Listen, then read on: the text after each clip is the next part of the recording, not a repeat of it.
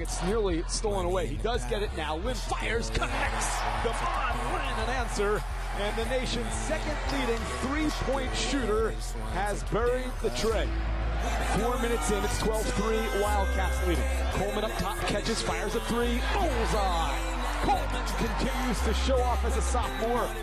Came in shooting at 45% beyond the arc for the season. He's a forward, folks. Another three. Lynn takes the three, now pulls up, fires, connects. Damon Lynn loves a stage, and he's got one tonight. Oh, beautiful lob down low. Brandon gets it, a ball fake, he's up and in. And now the cherry pick. It's Lynn for three goals. Here's a three game, and this place goes insane. For New Hampshire, good answer by the Wildcats. Willis all the way through the lane. Puts it. Oh, look at the touch by Winfield. Up to Willis in a one-point game. Down low. A ball fake up and in. Down the senior, the Highlanders back in front. This time from Winfield Willis. The little things now. A three balls off the mark a little bit.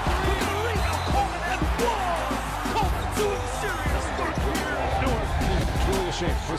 spinning. Coleman dishing. Here's Harley up with the glass. It was set up by the dribble drive from Coleman. Heave is after the buzzer, and the Highlanders, the nation's only Division One independent, right now has the nation's only postseason victory here in 2014-15. How do you like that? NJIT wins by seven, 84 to 77. They've got themselves a tournament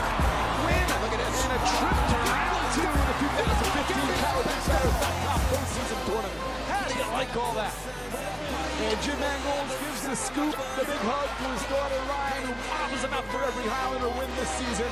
And NJIT against all odds, the Davis Division One